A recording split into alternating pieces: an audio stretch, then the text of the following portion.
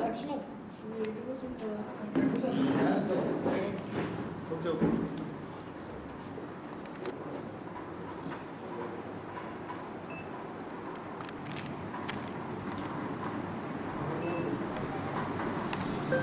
గౌరవ ఎమ్మెల్సీ పెద్దలు జీవన్ రెడ్డి గారు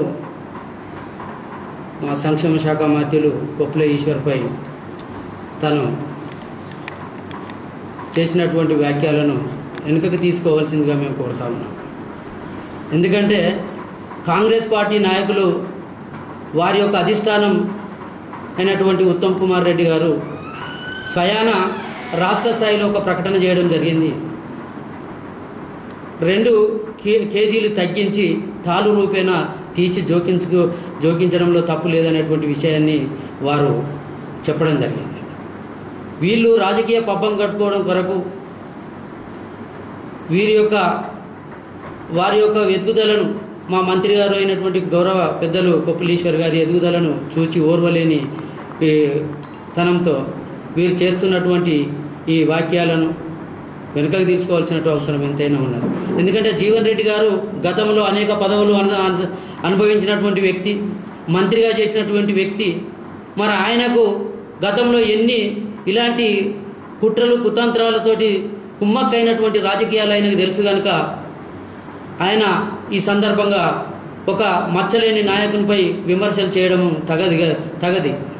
అది కూడా దళితులను లక్ష్యంగా చేసుకొని ఎదుగుతున్న దళిత లీడర్లపై ఒక కక్ష సాధింపు తోటి ఆయన చేస్తున్నటువంటి విమర్శలు అర్థం పర్థం లేనివైనటువంటి విషయాన్ని మేము ఈ సందర్భంగా చెప్తా ఉన్నాం. అదేవిధంగా తెలంగాణ అంబేద్కర్ సంఘం తరపున ఒక హెచ్చరిక కూడా జారీ చేస్తూ ఉన్నాం. ఇలాంటి వాక్యాలు దళిత నాయకులపై చేసినట్లయితే మునుముందు తీవ్ర పరిణామాలు ఎదుర్కోవాల్సినటువంటి అవసరం ఎంత అవసరం ఉందని కూడా చెప్తా ఉన్నాం. ఎందుకంటే మీరు అన్ని జిల్లాల్లో పర్యటిస్తారు అన్ని జిల్లాలలో కూడా దళిత నాయకులు ఉంటారనేటువంటి విషయాన్ని గ్రహించాల్సినటువంటి అవసరం ఉంది. మిమ్మల్ని మోస్తున్నది కూడా దళితులు అనేటువంటి విషయం మీకు తెలియదా జీవన్ రెడ్డి గారు? ఈ ఇన్ని విషయాలు మీరు తెలిసి కూడా ఒక మచ్చలేనటువంటి నాయకునిపై మీరు విమర్శలు చేయడం తగదు. ఎందుకంటే రైతుల పక్షపాతి అయినటువంటి మా నాయకునిపై మీరు విమర్శలు చేయడం ఏ ఏమాత్రం భావ్యం కాదు. ఎందుకంటే మీ గురించి మీ యొక్క వ్య- వ్యవహారం గురించి పూర్తి స్థాయిలో తెలిసినటువంటి వ్యక్తులం మేము మాకు తెలియదనేటువంటి విషయం కాదు. కొప్పుల ఈశ్వర్ గారిని ఇరవై సంవత్సరాల నుంచి చూస్తున్నాం. మిమ్మల్ని మేము జన్మతా చూస్తూ ఉన్నాం. మీ రాజకీయ మీ రాజకీయాలు తెలుసు. మరి తన రాజకీయాలు కూడా తెలిసిన వారుగా ఒక అంబేద్కరిస్టుగా మేము మాట్లాడుతూ ఉన్నాం. ఎందుకంటే దళితులు అని ఈ రోజు కూడా మీకు దళితులు ఎన్నంటూ ఉన్నారు. అలాంటి దళితుల నాయకులను ఒక్కరిద్దరు ఎదుగుతూ ఉంటే వారివై ఇలాంటి బురద జల్లుడు కార్యక్రమాన్ని మానుకోవాలి అనేటువంటి విషయాన్ని సూచిస్తూ ఉన్నాం. రానున్న రోజుల్లో కొప్పుల ఈశ్వర్ అనేటువంటి వ్యక్తి జగిత్యాల నియోజకవర్గానికి మరి అభివృద్ధి కార్యక్రమాలు చేపడుతూ మునుముందుకు పోతున్నటువంటి తన ఆ యొక్క వ్యవహారాన్ని చూసి ఓర్చుకోలేకపోతా ఉన్నారు. ఆయన ఎదుగుదలను చూసి. ఎందుకంటే ఇవాళ జైత్యాల నియోజకవర్గం వర్గం గతంలో కొన్ని గతంలో కొన్ని ఇప్పటికీ చూ చూడండి ఏ విధంగా ఉందో ఒకసారి అర్థమవుతుంది. అనేక నిధులు అనేక రకమైనటువంటి నిధులు తీసుకొచ్చి ఈరోజు జై జైత్యాల నియోజకవర్గానికి కావండి కానివ్వండి ధరంపూర్ నియోజకవర్గానికి కానివ్వండి జైత్యాల జిల్లాకు కానివ్వండి అనేక నిధులు తీసుకొచ్చి అభివృద్ధి అభివృద్ధి బాటలను నడిపిస్తున్నటువంటి ఒక నాయకునిగా ఆయనను ఈరోజు ప్రజలు గుండెల్లో పెట్టుకొని చూసుకుంటా ఉన్నారు. ఈ విషయాన్ని ఓర్చుకోలేక మీరు ఇలాంటి అవాకులు చెవాకులు పేలితే దీనికి ప్రజలు తగిన బుద్ధి చెప్తారు అనేటువంటి విషయాన్ని కూడా మేము చెప్తా ఉన్నాం. జీవన్ రెడ్డి గారికి ఇంకొక విషయం కూడా సూచిస్తూ ఉన్నాం. మీరు ఇన్ని సంవత్సరాలు ఈ జగిత్యాల జిల్లాకు అది మీరు ప్రాతినిధ్యం వహిస్తూ ఉన్నారు. మీ ప్రాతినిధ్యం వహిస్తున్నటువంటి జిల్లాకు మీ అభివృద్ధి మేము చెప్పడం కాదు అనేక మీ ఎలక్షన్లో మిమ్మల్ని ప్రతి గ్రామాన ప్రతిఘటించినటువంటి సంఘటన మర్చిపోయారు. మీ ఎలక్షన్లలో కూడా ముప్పై సంవత్సరాలు నిన్న అధికారంలోకి ఉంచితే మీరు ఈ ఈ జిల్లాకి ఏం చేసిందని గ్రామస్తులు మరి పేద బడుగు బలైన వర్గాలు మిమ్మల్ని నిలదీ నిలదీసి అడిగితే అప్పుడు ఆన్సర్ చెప్పలేని మీరు ఈరోజు ప్రజలే ప్రజలే నా నేను నేనే ప్రజలు అనేటువంటి నినాదంతో ప్రజ నిత్యం ప్రజలతో ప్రజలతో మమేకమవుతున్నటువంటి మా నాయకునిపై మీరు బురద జల్లడం ఏం బాగలేదు. ఎందుకంటే టీఆర్ఎస్ పార్టీ ఈరోజు అధికారంలోకి వచ్చిన నుండి మొదలుకొని నేను మేము గ్రహిస్తున్నటువంటి విషయం. ఈ జైత్యాల నియోజకవర్గంలో కానివ్వండి ధరంపూర్ నియోజకవర్గంలో కానివ్వండి చొప్పదండి నియోజకవర్గంలో కానివ్వండి అభివృద్ధికి నిజంగా చెప్తున్నా పరుగులెడుతుంది ఆ విషయం మీకు తెలియంది కాదు. మీరున్నప్పుడు ఎలా ఉంది ఈ రోజు ఎలా ఉందో ఒకసారి చెప్పండి. జగిత్యాల పట్టణంలో ఒక ఒక బండి పోతే ఇంకో బండి పోలేని పరిస్థితి. ఇన్ని సంవత్సరాల అధికారం నుండి ఒక చిన్న రోడ్డు వెడల్పు చేయలేనటువంటి మీరు అభివృద్ధి ఎంటబడి ఉరుకు ఉరుకు ఉరికిపిస్తున్నటువంటి జీ- ఈశ్వర్ గారిని మీరు విమర్శించడం ఏంటి? నాకు అర్థం కాదు. మీరు కూడా గతంలో అనేక సంవత్సరాలు మంత్రిగా ఉన్నారు కదా. మంత్రిగా ఉన్నటువంటి మీరు ఎన్ని కుట్రలు చేశారు ఎన్ని కుతంత్రాలు చేశారు ఎన్ని ఇటువంటి రహస్య ఒప్పందాలు ఎన్ని చేశారు? మీరు చేశారు కనుకనే మీకు ఆ విషయం మీరు ఇప్పుడు ఒక మచ్చలేని నాయకుని అనగలుగుతున్నారు అనేటువంటి విషయాన్ని నేను చెప్తా ఉన్నాను. దయచేసి ఇప్పటికైనా ఇలాంటి చౌకబారు విమర్శలకు మానుకొని ఉన్నతంగా మీరు ఒక పెద్ద మనిషిగా వ్యవహరించండి. ఎందుకంటే ప్రజల్లో మీరు ప్రజా జీవితంలో ఉన్నారు కనుక ప్రజా జీవితంలో ఉన్న వ్యక్తులను ఒకరిపై ఒకరు విమర్ ఈ బురద చల్లుకోవడం సరిగా కాదు. నిజంగానే మీరు తప్పు జరిగినట్టయితే మీరు సాక్ష్యాలతోటి నిరూపించండి.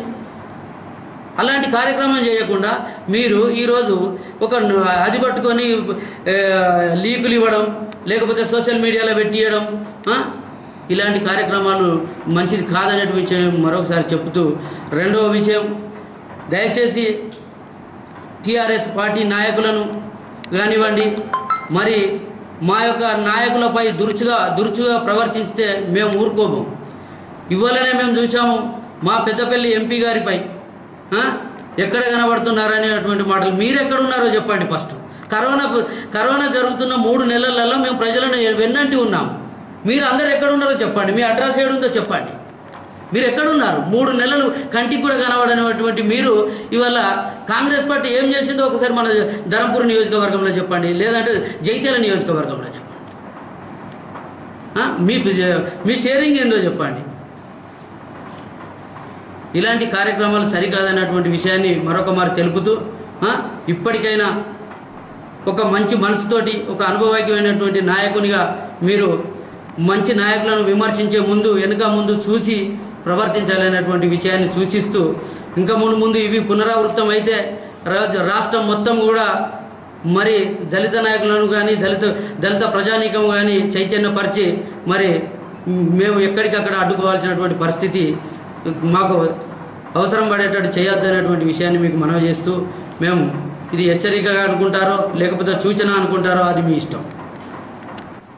గౌరవనీయులు సాంఘిక సంక్షేమ శాఖ మంత్రి కొప్పులీశ్వర్ గారి పైన కాంగ్రెస్ పార్టీ చేసినటువంటి ఆరోపణను దళిత సంఘాలుగా తీవ్రంగా ఖండిస్తూ ఒక మచ్చలేని నాయకునిగా తెలంగాణ ఉద్యమం మొదటి నుంచి నేటి వరకు తెలంగాణ రాష్ట్రం వచ్చేంత వరకు కూడా మళ్ళీ దశ నుంచి తుది దశ వరకు కూడా ఉద్యమానికి వెంబడి ఉండి చైతన్యపరిచి రాష్ట్ర తె- తెలంగాణ రాష్ట్ర ఆవిర్భావంలో తనవంతు భూమికను పోషించి మరి రాష్ట్ర మంత్రిగా అనేకమైనటువంటి కార్యక్రమాలు చేపడుతున్నటువంటి ఒక దళిత మంత్రిగా కొప్పులీశ్వర గారి మీద ఈ కాంగ్రెస్ పార్టీ నాయకులు అనిశ్చిత వ్యాఖ్యలను వెంటనే మరి వెనక్కి తీసుకోవాలని చెప్పి మేము డిమాండ్ చేస్తూ మరి ఒక దళిత మంత్రిగా ఈ జిల్లాలో ఉన్నటువంటి అనేక అభివృద్ధి కార్యక్రమంలో పాలు పంచుకొని మరి జగిత్యాల పట్టణానికి సంబంధించినటువంటి అభివృద్ధిలో కూడా అక్కడ రాష్ట్ర నాయకత్వాన్ని ఒప్పించి మెప్పించి జిల్లా కేంద్రంలో ఉన్నటువంటి అన్ని రోడ్లను కూడా విస్తరించే కార్యక్రమం చేపట్టినటువంటి కొప్పులీశ్వర్ గారు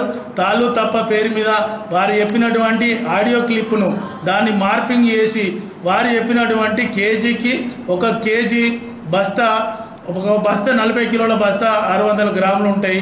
దానికి తోడుగా ఒక వంద ఒక కేజీ అదనంగా ఇవ్వమని చెప్పి ఒక కేజీ ముప్పై గ్రాముల వరకే వారు చెప్తే రెండు కిలోల వరకు వేసుకో రెండు కిలోల వరకు మరి రైతుల నుంచి మోసం చేసి తీసుకున్నారని చెప్పి ఈనాడు ఆడియో క్లిప్పింగ్ ద్వారా మరి మంత్రి గారి మీద నలభై కోట్లు చేతులు మారినాయని చెప్పి ఆరోపణలు చేశారు. అడ్డూరు లక్ష్మణ్ కుమార్ గారిని ఒకటే డిమాండ్ చేస్తున్నాం. మీరు గతంలో జిల్లా పరిషత్ చైర్మన్గా ఎస్సీ కార్పొరేషన్ చైర్మన్గా ఎంతమంది ఎస్సీలకు దళితులకు మీరు సంక్షేమ పథకాలు ఇప్పించారు? మేము సూటిగా మిమ్మల్ని అడుగుతున్నాం.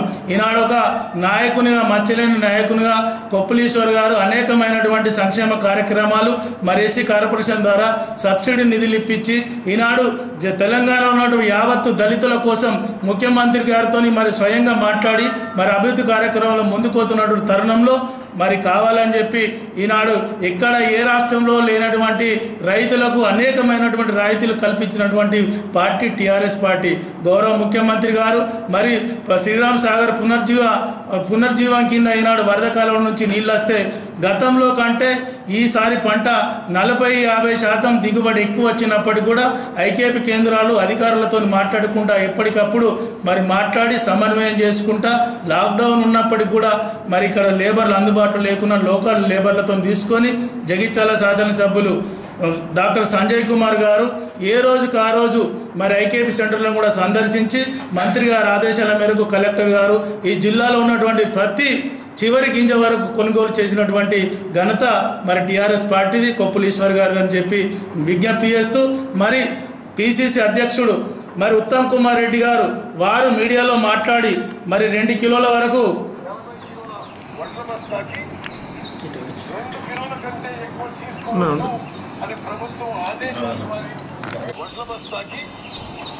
రెండు కిలోల కంటే ఎక్కువ తీసుకోవద్దు అని ప్రభుత్వం ఆదేశాలు ఇవ్వాలి.